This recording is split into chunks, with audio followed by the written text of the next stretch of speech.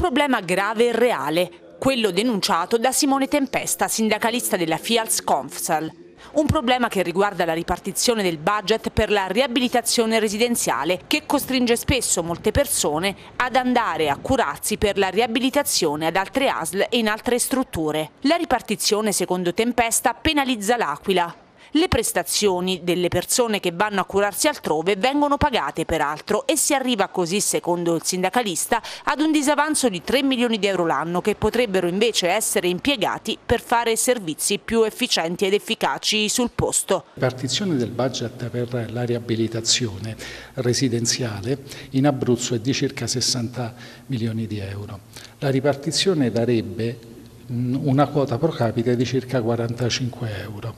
Quando viene fatta la ripartizione per le varie ASL invece succede che all'ASL di Teramo vengono assegnati 56 euro pro capite, all'ASL di Chieti 54, a quella di Pescara 46 e a quella dell'Aquila 21. Questa eh, ripartizione fa diminuire notevolmente il budget, quindi anche eh, le, eh, i posti che vengono messi a disposizione per gli utenti per fare riabilitazione.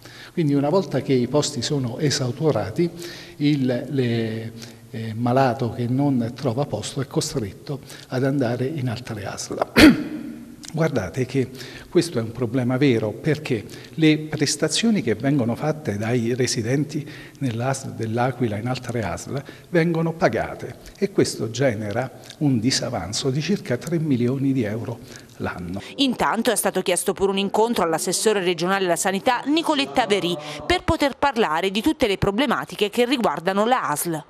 Sì, abbiamo chiesto un incontro per parlare di tutte le problematiche che riguardano questa ASL vale a dire l'invecchiamento del personale dipendente, l'esagerato utilizzo di personale interinale, quasi il 70-80% eh, del personale è diventato eh, interinale, ci sono degli interi turni che sono eh, fatti da dipendenti interinali professionalmente preparati, però hanno dei contratti che hanno scadenza di un mese, quindi vengono rinnovati molto spesso e appena trovano uh, un nuovo posto di lavoro si trasferiscono.